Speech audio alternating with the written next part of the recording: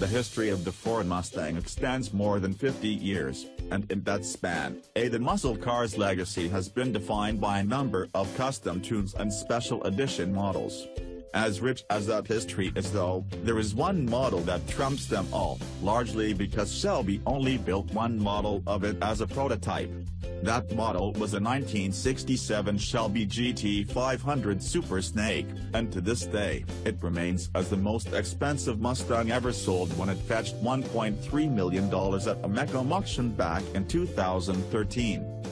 Over the years, Ford has revived the Super Snake name a number of different ways, most recently with the 2015 Shelby Super Snake, a special edition Mustang that was limited to just 300 units.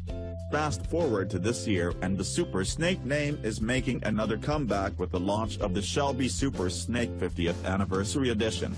Yes, the one and only original 1967 Shelby GT 500 Super Snake is celebrating its 50th anniversary this year and for a car that has turned into arguably the most iconic Mustang in history, a special edition run of 500 units, 499 more than the original Super Snake, is the least Ford can do to commemorate the original Super Snake.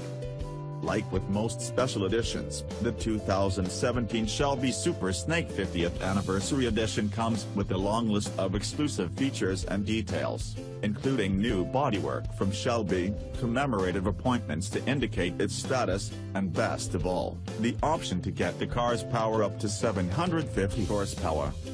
The 2017 Shelby Super Snake 50th Anniversary Edition may never have the lasting legacy of the legendary 1967 Shelby GT 500 Super Snake, but it is a fitting tribute to a muscle car that was completely ahead of its time in more ways than one.